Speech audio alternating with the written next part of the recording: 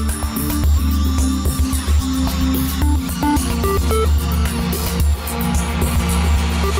Hello and welcome to the Convex Conversation with me, broadcaster Helen Fospero. As more COVID restrictions come into play, our relationship with work, our workplace, and quality of life is back in the spotlight. So, the perfect time, I think, to talk to Annie Auerbach, best-selling author of Flex: Reinventing Work for a Smarter, Happier Life. A short kind of handbook, if you like, for living and working on your own terms, and giving us the courage to challenge the status quo. Annie's paperback version of the book was published in May this year, but she actually wrote it before the pandemic. She describes herself as in the eye of the storm, early 40s, running her own business, mum to two daughters, has a husband and a small snappy dog. Annie's description, not mine. Flex has already helped many people balance work and home life and is even more relevant now the lines have become blurred and our days and weekends feel like they all roll into one. Annie runs a cultural insights agency called Starling that she co founded five years ago, helping clients like Nike and Unilever. And she's been working flexibly for the last 20 years. Annie, it's fantastic to have you with me today. How are you doing? Oh, thank you so much for having me, Helen. It's a complete pleasure to be here. Oh, well, we're very glad that we've got you with us. I'm actually dying to dive right in because I've been looking forward to our chat as I've been trying to sort of rebalance and, and reshape my life and work. And reading your book has really helped me crystallize some of what I've been trying to model through on my own. Can we start perhaps by getting your definition of flex? So, flex is living and working on your own terms. And I originally thought flex was almost like a, an idea or an ideology had come of age.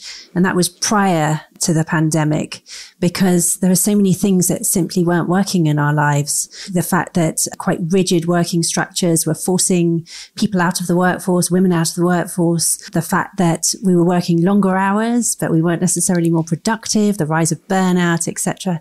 And then when the pandemic came about, all of that sort of tipped over into the mainstream and businesses that never thought they'd be able to flex suddenly were scrambling to make it a reality. So it's being really able to thrive rather than just survive. The book was really well received by publications like the FT, Sunday Times Style, Grazia, Marie Claire, Stella, and so on. It's fascinating to me that you wrote it before the pandemic because that seems to be when most of us had a rethink about our life and our quality of life and perhaps had the confidence to change things because so many of us were forced to change our working life. Our podcast in person suddenly became an online podcast because we literally couldn't visit people. Mm. But what inspired you to write it in the first place? And what did you see that many of us didn't see before the pandemic came along? I approached the subject matter wearing two hats. One was a professional hat. So that's the work that I did with Starling. And as you very kindly said in your intro, so Starling, my business is, is a cultural insight agency, a trends agency, and we help our clients understand the big shifts that are happening all over the world, uh, changing the way we live, the way we work, the way we aspire, the way we hope and dream and so on. And I was noticing a lot of trends that were happening, which made me feel that this was the absolute moment for change to happen. Sort of big macro trends like demographic change, like, like we're living longer lives and we're, and we're working for longer. We have longer careers and we'll need to shift and pivot and adapt as we go. The fact that we have all this technology, which is there waiting to go. You know, clearly you've been able to grasp that with the podcast and make this happen. The fact that we're monitoring ourselves more and more. So we have all of this tech, which is helping us understand you know, our sleeping patterns, our performance, the times when we're at our best and the times when we feel low, various other things. The fact that more women are in the workplace globally and the pressure that's putting on families and the emotional load that's being burdened on primarily women's shoulders. And we've seen that really crystallizing during the pandemic. All of these things were building up into a sort of crescendo, I felt, and something had to give. And if you like, that was me looking at these trends from a professional point of view. But then, of course, I, as you said, I've been working or trying to work flexibly for 20 years in various different guises, portfolio career. So writing whilst doing other things, working part time. I've done everything, two days, three days, four days, five days a week, coming back from maternity leave, going on maternity leave, all of it has been a shit show, really. Pardon my French. But, you know, uh, uh, looking back on it, it was incredibly difficult and there were huge barriers in place. And I was desperate to write something which would be genuinely helpful, which would feel liberating, but also a guide of how, I guess, if I'd read this 20 years ago, how I could have done it better. And I just wanted that to be something that was genuinely useful for people as they navigate these huge changes themselves. I'm going to ask you how we begin to do it in a moment, but you started off looking at all this through a female lens, didn't you? I did. And partly that was because I wanted to honor who I think the pioneers of flexible working have been and usually it's been working mothers at the coalface looking backwards who have sort of negotiated this and started the ball rolling and faced huge resistance. But actually, what I say in my book is that flex is relevant across all stratas of society, whether it be young people coming into the workplace who are looking for more diversity and inclusion and flexibility in the way they work, whether it be Gen Z who maybe have portfolio careers or hustles on the side that they want to do, whether it be people like my generation, Gen X, who are the sort of sandwich generation, perhaps caring for younger children and elderly parents at the same time, for people of all kinds and all backgrounds who just simply want a better way of living and working where they're not feeling pulled in too many directions and burnt out. So as much as I want to honor who I think might be the female pioneers of this, I want to also see this as a movement that really is beneficial to loads of different types of people, but also beneficial to society at large. And gone are the days, really, I suppose, of nine to five being the healthy way to work. I look back, Annie, at my childhood, and my dad, I suppose, as a journalist, was a nine to fiver, but he also never had two days off in a row. And I feel he gave 46 years of his life to the office, to his work, which he loved, but he was on a hamster wheel, and it was all towards that retirement at the end. And much as I adore and love my dad and that secure environment that it brought us, that isn't how I want my working life to be. Life's today, life's now.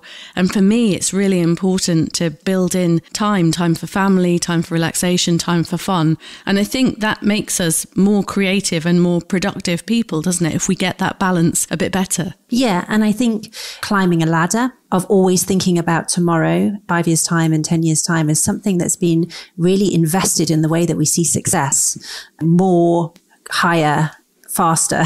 All of these things have been embedded in the way we see what it is to be a successful person and to work. And, and the opposite, you know, stopping, resting is almost seen as, you know, why? Why, why would you do that? That, that feels like you're taking the foot off the gas and you're not ambitious. And so I think we need to acknowledge that this is something that's been almost in the kind of atmosphere and the air that we breathe. And to go against that has required great bravery and courage and so on. Actually, what the pandemic has done is that has meant more of us have questioned, more of us have done, as you say, tried to think about what is it that really makes me happy and the loved ones that surround me happy and how do I want to live. But we've got to acknowledge that that's happened in a kind of collective way because of this huge terrible thing that's happened all around the world. So it's made it easier for people to make that decision. And you will have, I'm sure, seen headlines in the newspaper around the great resignation, where people are having that moment of introspection and thinking, what do I want? And how do I want to live and work? And they're making the leap. So this is a plastic moment. This is a time of great courage and great introspection, I'd say. I've heard you use that phrase, a, a plastic moment. Just explain what you mean by that it's a moment where, because of the huge changes that have happened, they have allowed a kind of moment of huge flexibility in the way that people think about life. So I mean plastic as in malleable, as in experimental, as in up for grabs. Definitions are changing. The way that structures are changing things that we kind of believed were the norm, like, for example, nine to five or particular career trajectories are really up for grabs at the moment. And so as much as it's daunting, particularly for managers and, you know, reading newspapers about how on earth will we manage hybrid work and how, how will we manage teams? How will we create team culture? As much as it can feel out of control, maybe because so much change is happening, it is a moment of expansive, ambitious, kind of visionary thinking. And you know, as much as we need security, it would be sad, I think, if we tried to nail down a new model too quickly because we can really listen and make change and kind of make great leap forward. And I suppose that change is made much easier now because of the pandemic. Because perhaps if you went to an employer pre pandemic and suggested home working or that hybrid working, it wouldn't always go down very well. But now businesses have had to embrace it because a lot of them have had no choice. We've been stuck at home and had to work out to do things differently. And I think it's shown a lot of businesses that actually it can make a happier and productive environment as long as it works for everybody the teams, the staff themselves, and the business. I've been talking to businesses about flex for, for years. And prior to the pandemic, there's so many that would say, Oh, it couldn't possibly happen in my industry. You know, it might work in this instance, but for, for us, you know, we need 24 seven, very quick response times. We, you know, we work internationally. It just absolutely wouldn't work. And it has been bizarre watching them adopt such change and how remote working initially has become normalized, but remote working is literally one aspect of flexible working. There's plenty of different other definitions that we can explore. But what it has done is it started to, to normalize that. And instead of this huge kind of psychological fear that everyone would be shirking from home, the opposite has in fact been proven, which is that productivity has either stayed the same or, or got more, or um, that people are more engaged. When you offer people flexibility and autonomy over their time, they're happier, healthier. For the business, performance and retention can go up. For the individual, you know, they can become, I guess, a better friend or a better member of their community or have time to do the stuff that they never felt was available to them. So I think it's this kind of moment of reciprocity where the businesses like seeing a benefit they never thought was there and the individuals are suddenly being able to live differently. So, when you went into businesses and spoke to corporate clients before all of this happened, how did you get that story across and how did you get them to invest their belief in what you were showing them? There was plenty of evidence prior to the pandemic that flexible working was beneficial.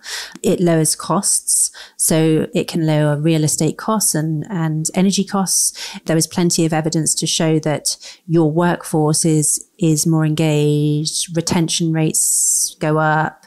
Um, you get more senior women um, staying in the business and not dropouts, which then has implications for gender pay gap and has then implications for the more diverse leadership that you have, the higher potential profits that you have for the business. So that all of this evidence that you can put there, but it's very rational, right? Isn't it? You know, it's sort of laying it out and going this and this and this and this.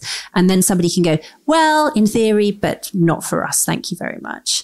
And we can talk forever about kind of productivity and so on. But I think there's a really human story to what Flex is all about, which is there's always, you know, the flexible requests that the manager gets. There's an incredibly human story behind that, whether it be an ambition to do something different, whether it be an elderly relative that needs to have extra care, whether it be a moment of, of change within your life, a divorce or moving to a new area or, suddenly the commute becomes impossible. All of these things that, that is life. And it's very unifying, really, because all of us can empathize with that with it.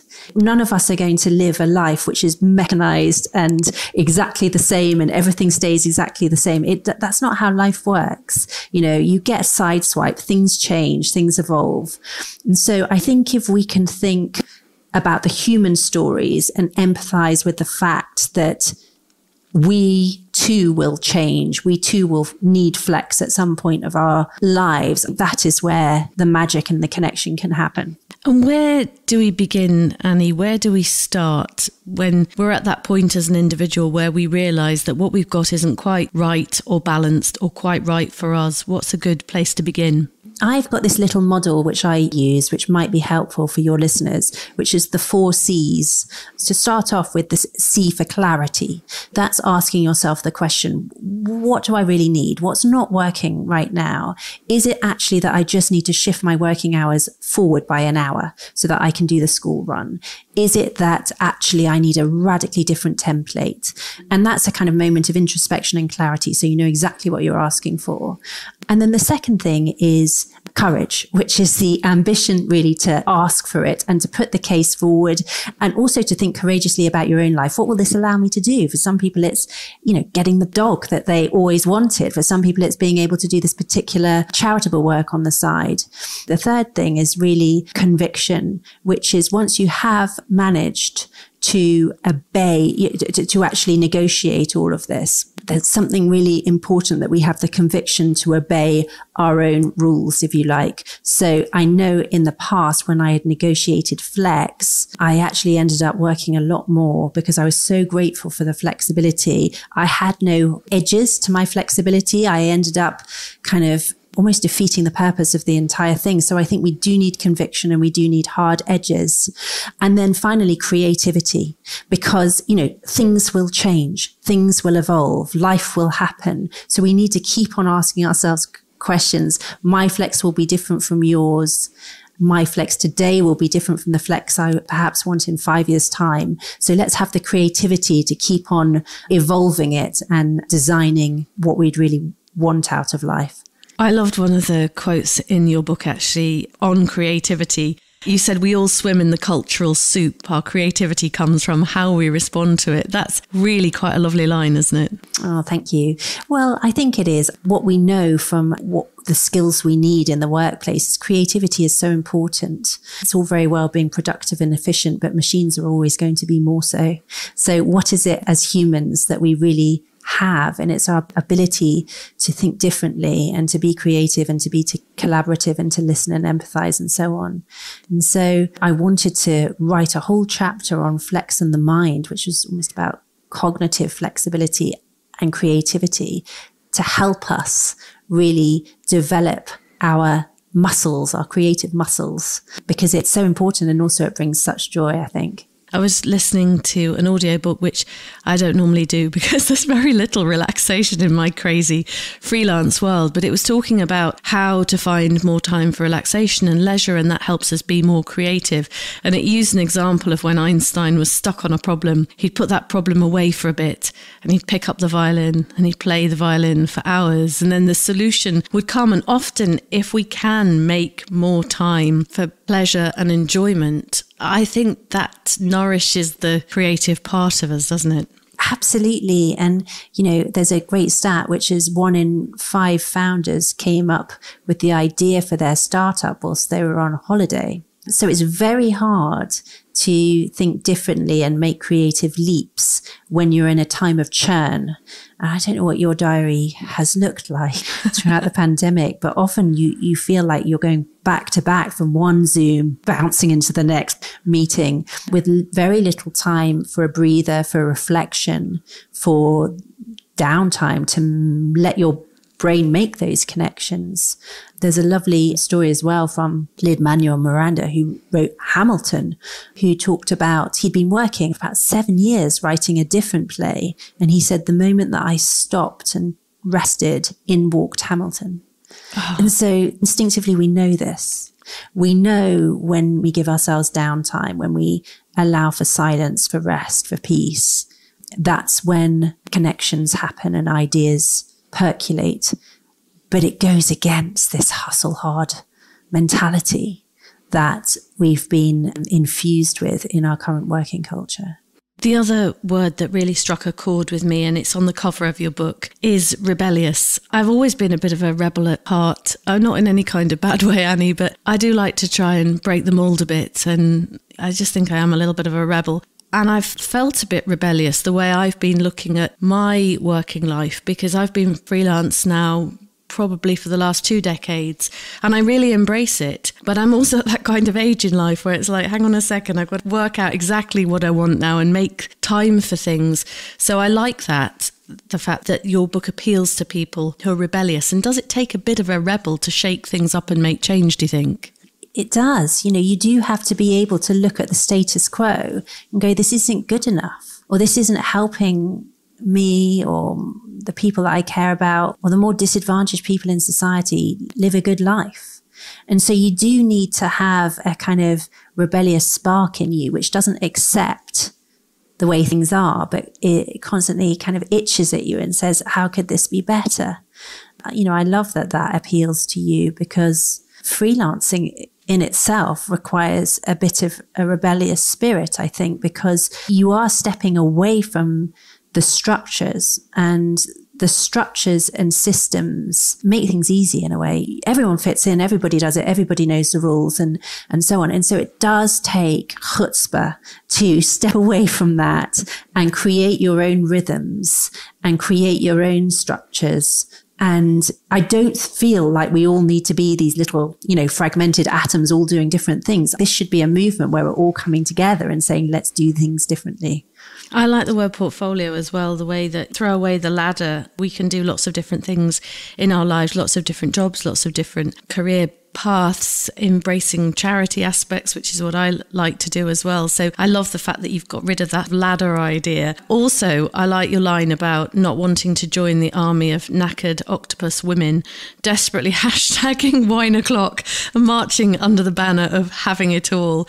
Uh, what's an octopus woman? I love that phrase. Oh my goodness. If you've ever Googled working women, and click on Google Images, you'll see a bunch of cartoon images of women with eight hands juggling a frying pan, a lipstick, a laptop, a baby. I mean, it's this weird cliche that a kind of harassed, sweating existence is one we should be aiming for if we want to have it all as a working woman. And I can't bear it. I mean, you know, I want to change the branding of that. That doesn't appeal to me at all. This kind of feeling of you're always late. You're always doing something badly. Everything's about to come crashing down. You know, there's no sense of, and we can relate to it, particularly now when we're pulled in so many directions. Oh my goodness, that period of homeschooling for anyone who's parents. Oh my goodness. Don't that, even go there. That felt, I know. I mean, I don't, I think we need to collectively deal with the trauma of it all, but it's not what we should accept. That vision of kind of octopus living is not what we should accept. You know, when you Google working dad, for instance, there's no octopuses there. Octopi? Octopus? So why should we think that this is a norm that every day should be filled with chaos waiting to fall to pieces, basically? So yes, I just think there must be a different way. There's definitely a different way. I like also your definition of T shaped as well. I was reading about that today, being a T shaped person, which I hope is what I am. And you say that creative industries are always on the hunt for T shaped people. Tell us your definition of that. So if you imagine a capital T and there's the vertical bit, which I guess is the I, and that represents your expertise, your skills, your educational background, you know, all the expert knowledge that you've built up over your career. And then there's the horizontal bit of the T at the top. And that is your ability to listen to points of view that don't necessarily chime with your own, your ability to spot patterns which perhaps aren't linked already, your ability to collaborate with people from different disciplines or from different silos within your business. All of that is hugely valuable. Otherwise, you are a kind of self-fulfilling prophecy. You're listening to yourself, you're listening to your own expertise, you're looking backwards, you're in the rearview mirror. But actually being able, as I write about in the book, to be able to make these creative leaps, often it's not coming up with an idea that's never been thought of before. I mean, that's slightly intimidating. If creativity is about coming up with something completely original, we'd all be slightly paralyzed by that. But if creativity is taking two different ideas and smashing them together and coming up with something fresh or different disciplines that don't normally talk to each other, I think that's something that we can all feel is doable. But it does require this T-shapedness because it does require the ability to look over the parapets and, and make connections.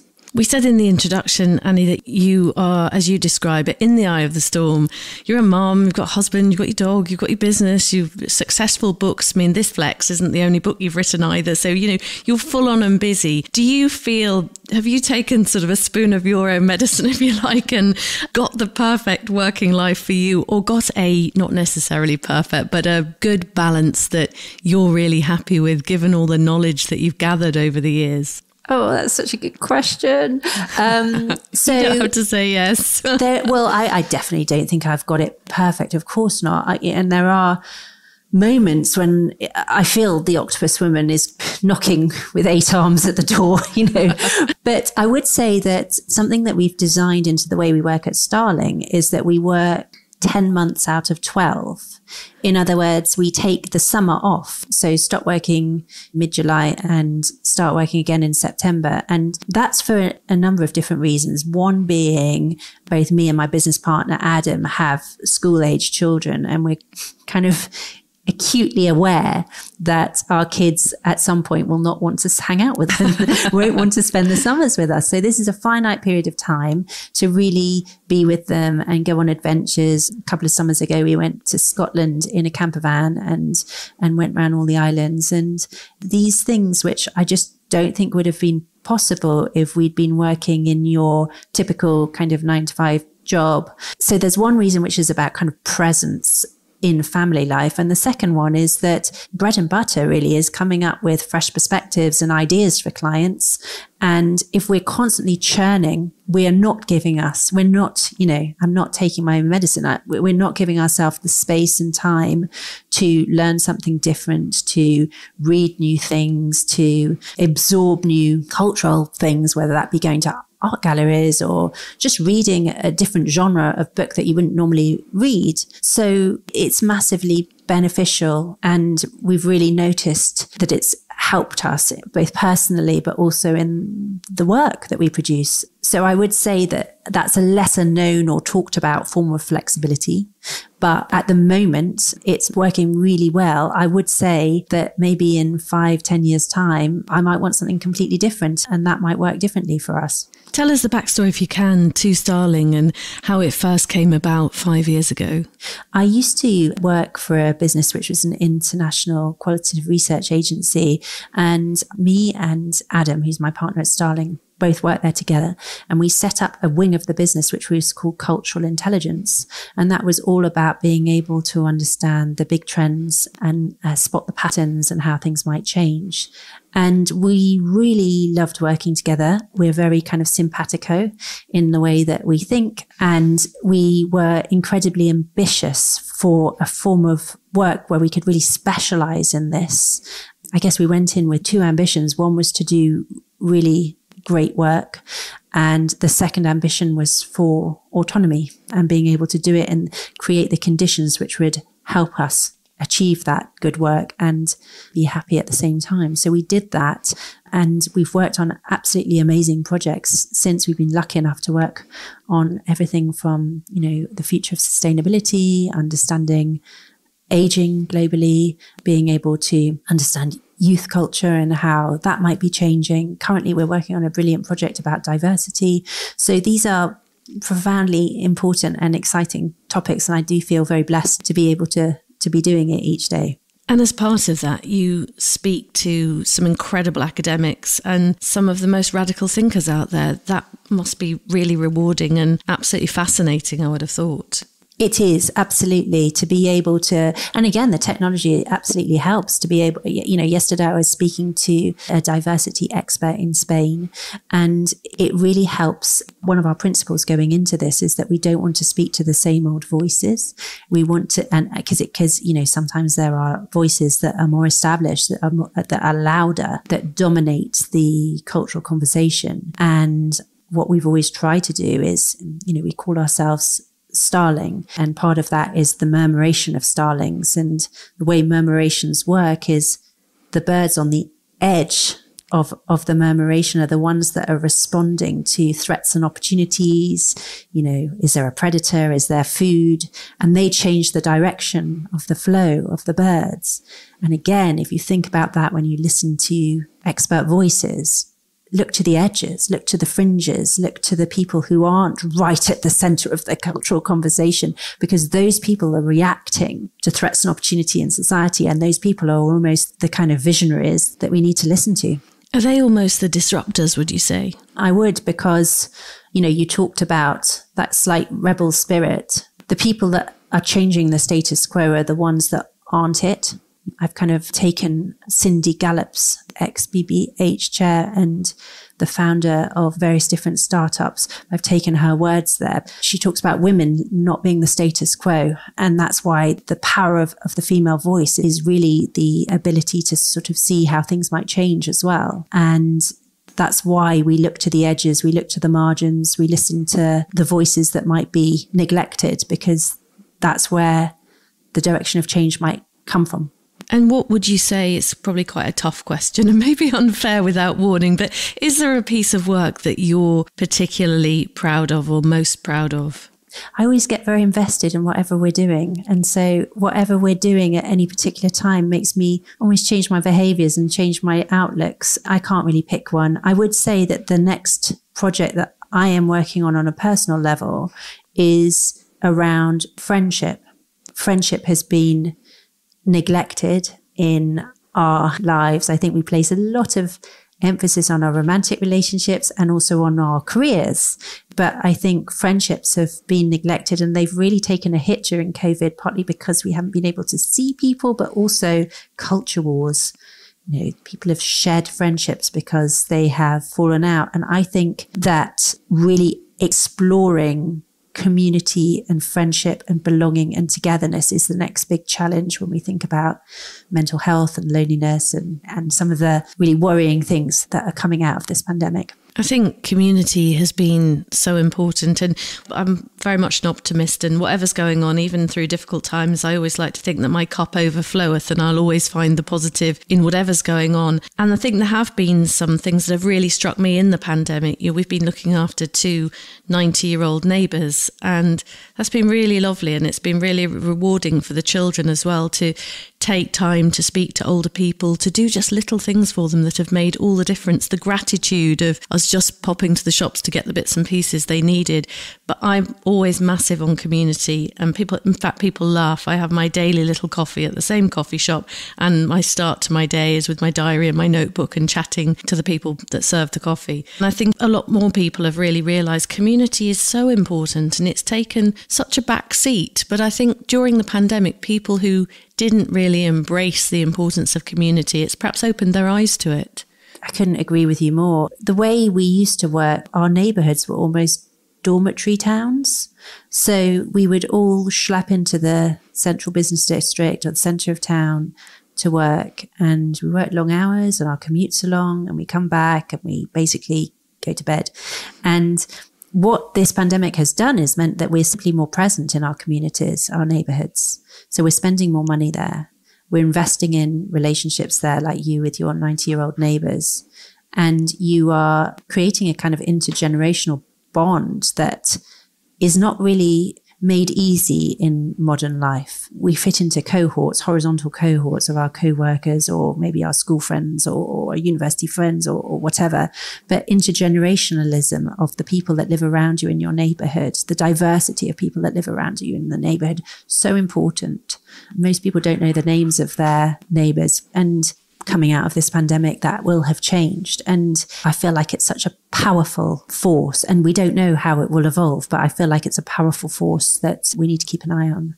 Absolutely. Normally, when we do these podcasts, Annie, I'd go much deeper into where people are from and their childhood and their background. And I've been so absorbed this week with Flex and just reading your book, thinking, oh, yes, yes, that's me. And yes, that's what I've been trying to do and model my way through the changes I'm trying to make for 2022, which I've never had the time to even think about before. So I don't really know who Annie is other than creator of Starling and brilliant writer of this book. Will you just give us a little potted history of, of your background and what inspired you on your journey growing up? Yeah, sure. So I grew up in London. I've got two older brothers and working mum and dad. My dad started working at age 16 and he's still working age 83. Is he? He is. What's he doing? Well, he's an accountant. And so if you look at his trajectory, it's absolutely of almost a different era, which is this climbing the ladder, but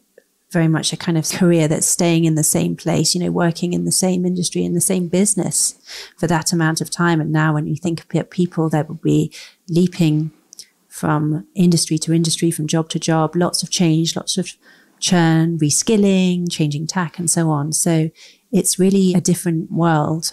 I studied history at college, at university, and then my first job was actually in journalism. I wrote lifestyle pieces for magazines and newspapers. So I sort of felt like I specialized in the past and then I specialized in the present. And now, of course, with Starling, what I'm doing is trying to understand how things might change in the future. So I've got two daughters and part of the thrust behind really why thinking about Flex has come from having a family. And my husband is a writer as well. He's a football writer and he writes football books for kids. And we've had this kind of slightly chaotic, but very kind of egalitarian way of bringing up the kids and working together. And, you know, who's doing this? And can you fit in? Can you do that? I'll drop this if you do that. And, you know, it's a constant kind of dance of trying to make it all happen. Part of the way we've worked inspired a chapter in the book, which was around flex and the home. And all of that was really uh, trying to understand the emotional load and how, how can we have equality at work if we can't have equality in the home? So those questions were going around my head. That's really how I got into it. It's a, it's a story that as, as everyone's is, your ideas are so embedded in your personal experience as well as your kind of intellectual perception and interpretation. And for me, the two are totally intertwined. I can't really pull them apart. And your husband makes a difference too, doesn't he, with his books, helping with literacy and helping encourage children who perhaps don't think reading's for them to get stuck in. He and his partner have written a series of children's books called Football School. They explain the world through football. So whether that be understanding physics through kicking a ball into a net or understanding um, nutrition through what footballers eat and when they eat. And so it's very funny and very brilliantly, I would th- say that, but you know, that it's, it's brilliantly written, but also it has this very, very important mission, which is at the point where kids are stopping reading or dropping out of reading, that's often when they're fascinated and really into football.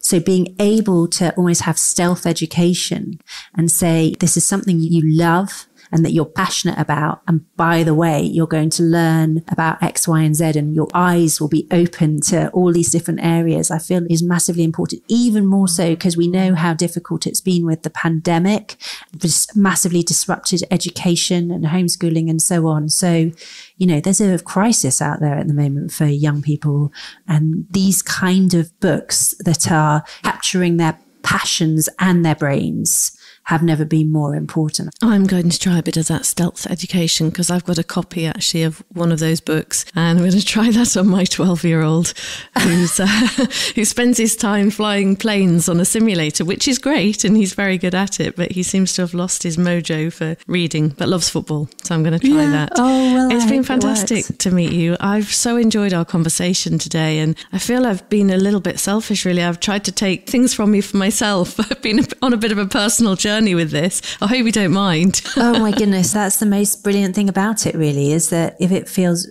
relevant to your actual life, the things you're actually grappling with. That's that's the biggest um, compliment of all. So thank you so much, and I've loved this conversation. It's been brilliant. I'm so glad. Thank you so much, and thank you for making time on a Friday afternoon to relax and have a chat about it all. Keep going with it, Annie. It's brilliant, and I'm looking forward to reading. If you do write down what you're doing with friendship and community and that side of things, I'm looking forward to that. Keep in touch, please. Thank you so much, Helen. You've been listening to Annie Auerbach, co-founder of cultural insights agency Starling, speaker and author of best-selling book Flex: Reinventing Work for a Smarter, Happier Life. If Annie's stories have inspired you, then I'd highly recommend you find time to read it. It's a really lovely book. It's quite short, it's in bite-sized chunks and definitely given me the courage and the inspiration to make the changes that I've been umming and ahhing about for the last year or two. Thanks very much for your company today today, you can download our whole series at convex.podbean.com or search the Convex Conversation on Spotify, Stitcher, Apple, Google, or wherever you listen to your podcasts. Next week, I'm going to take you to Namibia in Africa. Sadly, I'm not actually going myself, but we will be in Namibia in Africa to speak to conservation hero Simson, who's winner of the Prince William Lifetime Tusk Award, who's dedicated his life to saving the rhino. I shall see you then. Bye for now.